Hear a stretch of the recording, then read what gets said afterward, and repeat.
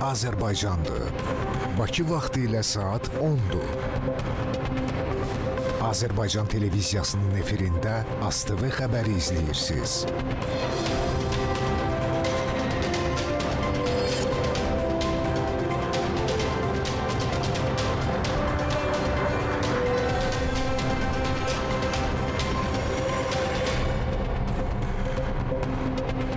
Xəbərlərin 10 buraxılışını Cavid Sadıqov təqdim edir.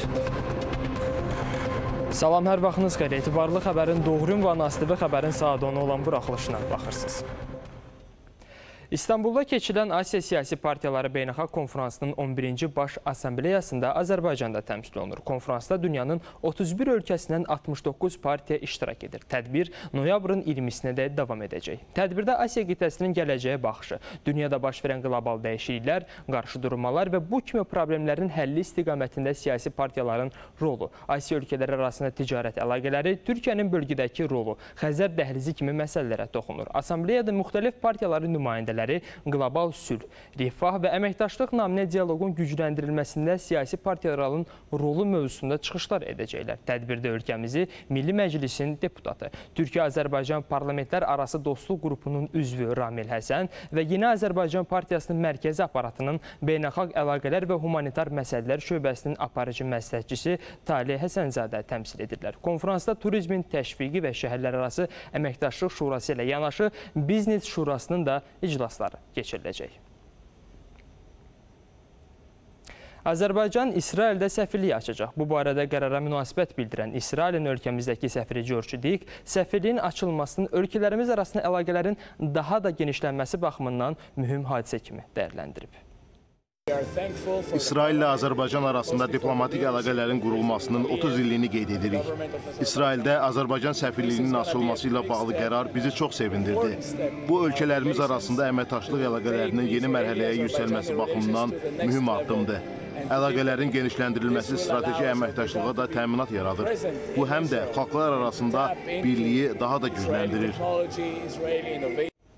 Yeni Azərbaycan Partiyasının mərkəzi aparatında partiyanın 30 ili ilə bağlı keçirilən fərdi yazı müsabiqəsinin qalibləri ilə görüş olub. Yeni Azərbaycan Partiyasının sədrinin muavini, mərkəzi aparatın rəhbəri Tahir Budaqov bildirib ki, müsabiqənin məqsədi ümummilli lider Heydər Əliyevin zəngin dövlətçilik irsinin, Prezident İlham Əliyevin müasir çağırışlara və milli maraqlara əsaslanan siyasətinin təbliğ edilməsidir. O da vurğulanıb ki, yeni dövrün çağırışlarının təbliğində medianın üzərinə böyük məsuliyyət düşür. Müsabiqə Heydər Əliyev ideyaları, Yeni Azərbaycanın Azərbaycanın dövlətçilik irsi, Yeni Azərbaycan Partiyası müzəffər liderə yeni zəfərlərə doğru və Yeni Azərbaycan Partiyasının 7-ci qurultayı, yeni mərhələ, yeni hədəflər mövzuları üzrə keçirilib. Müsabiqədə ən azı bir il müddətində kütləvi informasiya vasitələrində qəzet, jurnal, informasiya agentliyi və rəsmi qeydiyyatdan keçmiş internet media resurslarında çalışan şəxslər iştirak ediblər. Qaliblərə pul mükafatları təltif olunub.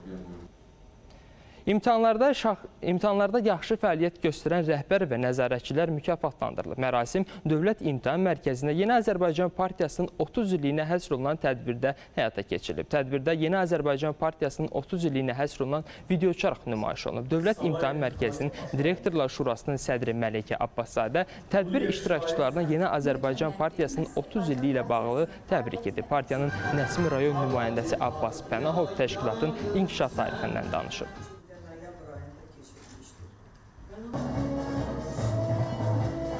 Bilirsiniz ki, bu il, bəli, iki il əvvəl elan olunan dəyişiklik artıq qüvvəyə minibdir. Bu informatika fənnindən imtahan olacaqdır. Birinci qrupda təbii ki, informatika fənnini seçən müvafiq alt qrupda imtahan verən şəxs kimyadan imtahan verməyə bilər. Dekabrın 15-nə qədər biz imtahan cədvəlini təsdiqləyib, razılaşdırıb Təhsil Nazirliyindən ictimaiyyətə təqdim edəcəyik.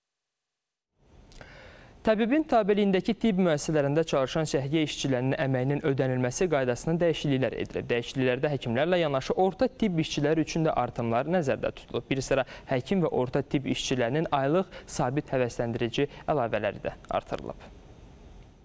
Artım statistika və aptek bölmələrinin rəhbərləri vəzifəsində çalışan həkimlərə, həkim provizor, həkim statistik, həkim metodist və tibbi bölmələrin rəhbərlərinə şamil olunur. Həmçinin ilk dəfə olaraq tərbiyəçi və əmək terapiyası üzrə təlimatçı vəzifələrində çalışan orta tibb işçilərinin əməkdaşlarına 200 manatadək sabit aylıq həvəsləndirici əlavələr edilibdir. Bundan əlavə bildiyiniz kimi təbibin tabeliyindəki dövlət tibb müəssisələrində agentlik tərəfindən B və C viruslu hepatit hepatitlərin müayinəsi, müalicəsi, diaqnostikası və profilaktikası işinin təşkili üzrə komissiya fəaliyyət göstərir.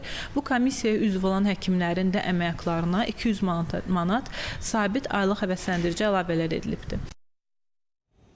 Başqırdistan Milli Məclisinin vitse-spikeri Rüstəm Axmadinurov Azərbaycan Dövlət Televiziya və Radio Verilişləri Qapalı Səhmdar Cəmiyyətinin nəzdindəki Teleradio Akademiyasının tələbələrlə görüşüb. Görüşdə vitse-spiker Azərbaycanla Başqırdistan arasındakı dostluq münasibətlərindən danışıb.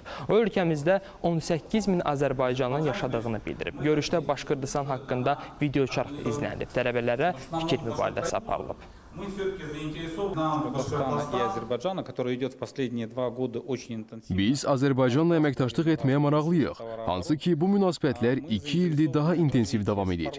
Biz Milli Məclislə Azərbaycanın Elmlər Akademiyası ilə əməkdaşlıqda maraqlıyıq. Həmçinin nəzərdə tutduğumuz tədbirlər çərçivəsində Televiziya Akademiyası da var. Bu çərçivədə bu gün akademiyanın müəllim və tələbə heyəti ilə görüşümüz oldu. Bu barədə müzakirələr apardıq. И сегодня встречались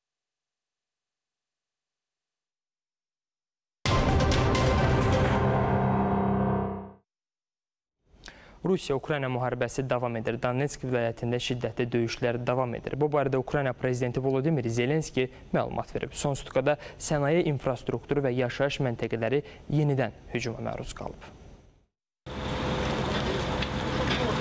Zaporojye yenidən raket hücumuna məruz qalıb. Vilayət rəhbəri Aleksandr Starov zərbənin sənaye infrastrukturu obyektinə endirildiyini bildirib. Əraziyə 5 raket atılıb, nəticədə güclü yanğın baş verib. Dağıntılar altında qalanların olduğu ehtimal edilir. Axtarış xilas etmə işləri davam etdirilir. Xersonda isə yaşayış məntəqələri Rusiya qoşunları tərəfindən atəşə tutulub. Bu barədə Cənub Əməliyyat Komandanlığı məlumat yayıb. тренування запорука успішного виконання бойових. Komandanlıq həmçinin bildirir ki, Rusiya tərəfi Dneprin sağ sahilində Ukrayna qoşunlarının mövqelərini reaktiv yaylım atəşi sistemləri, artilleriya və mina atanlardan atəşə tutmaqda davam edir. Ukrayna raket artilleriya bölmələri isə sutka ərzində 33 döyüş tapşırığı yerinə yetirib. Kimburun dilində Rusiya tərəfinin canlı qüvvəsi, silah və texnikasının toplaşdığı rayon vurulub. Dnepr çayının sol sahilində isə Rusiya qoşunları müdafiə mövqeləri qurmaqda davam edir. Son sutkada Ukrayna Silahlı Qüvvələri Donetsk istiqamətində 100-ə yaxın hücumu dəf edib. Bu barədə isə Prezident Vladimir Zelenski məlumat verib. Dövlət başçısı qeyd olunan ərazidə şiddətli döyüşlərin davam etdiyini, hərbi əməliyyatlara ara verilmədiyini bildirib. Fərda Abbasova, İlkin Cəlilzadə, ASTV xəbər.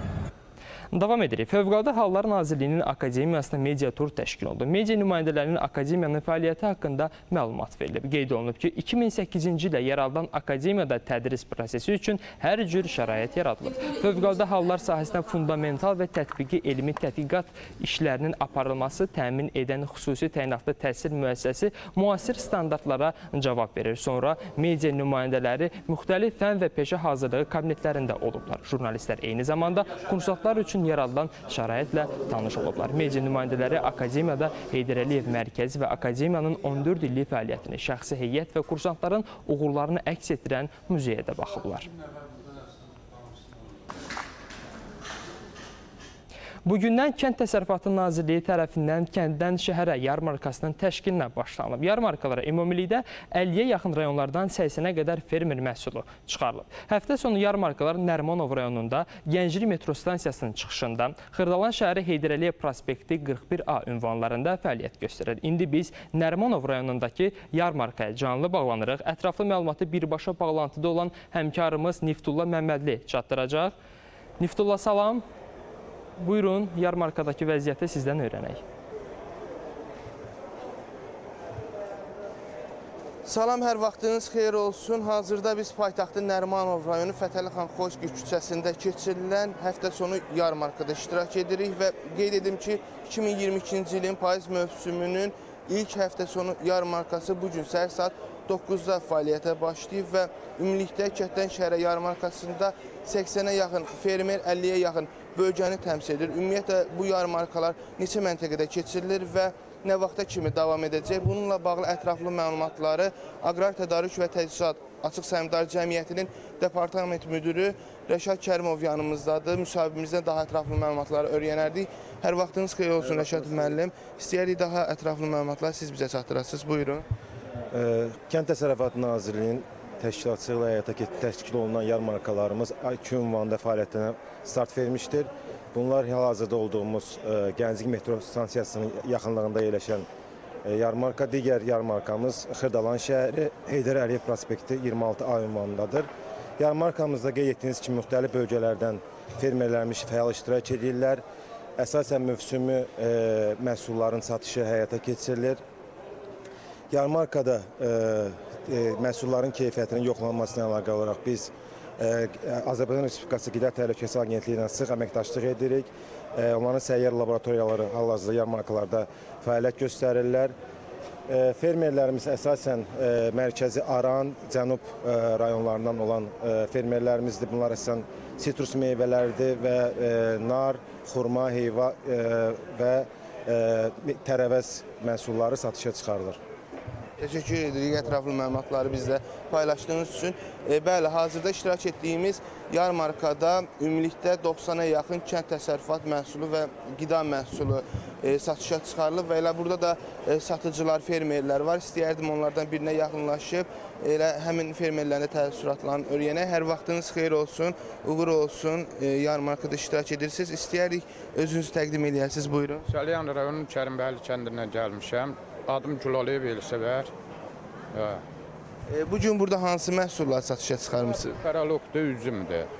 Üzümdür məsələn 1 manat 50 qəpiyə, 1.30-a, 80 qəpik, belə 1 manat.